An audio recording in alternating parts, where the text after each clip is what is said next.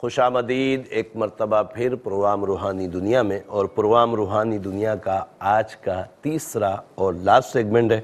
आपको पता है कि तीसरा और लास्ट सेगमेंट जब आता है तो हम आपके लिए इसमें आज़म बताते हैं और आप अल्हम्दुलिल्लाह उस नाम के जितने भी पूरी दुनिया में बहन या भाई होते हैं तो उसको अल्हम्दुलिल्लाह पढ़ते हैं।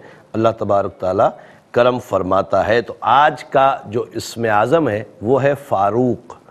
और फ़ारूक जो अदद हैं, वो हैं तीन सौ सतासी इसके लिए रब करीम के दो सिफाती नाम, या करीमू, या मुइज़ु या करीमु, या मुइज़ु या करीमू, या मुइज़ु सात सौ चौहत्तर मरतबा फ़ारूक नाम के पूरी दुनिया में जहाँ कहीं भी मेरे भाई हैं, वो इसको पढ़ेंगे, रब अज्जवजल की अताओं से इन ये उनके लिए इसमें आज़म होगा और इसमें आज़म पढ़ने के बेशुमार फ़ज़ाइल बरक़ात हैं। सबसे बड़ी फजीलत ये है कि जितनी देर तक हम इसमें आज़म पढ़ते रहेंगे, रब अज्जवजल का ज़िक्र करते रहेंगे और इन ताला रब की रहमतों को समेटते रहेंगे। इसलिए कि ज़िक्रुल्लाह करने वाले लोग ही दुनिया में ज़िंदा हैं।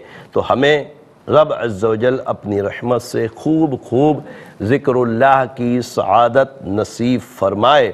और इसमें आज़म यकीनी तौर पर आपने हमारा A R Y Q T V के ऑफिशियल यूट्यूब चैनल पे भी अपलोड होता है तो ज़रूर, बिल ज़रूर अगर किसी वजह से रह जाए तो आप हमारे A R Y Q T V के ऑफिशियल यूट्यूब चैनल पर जाकर भी अपने नाम का, मुख्तलिफ़ नामों के अलहमदिल्ला इसमें आज़म पढ़े हैं तो उसको आप पढ़ सकते हैं। अल्लाह तबारक ताली आसानियाँ आता फ़रमाए।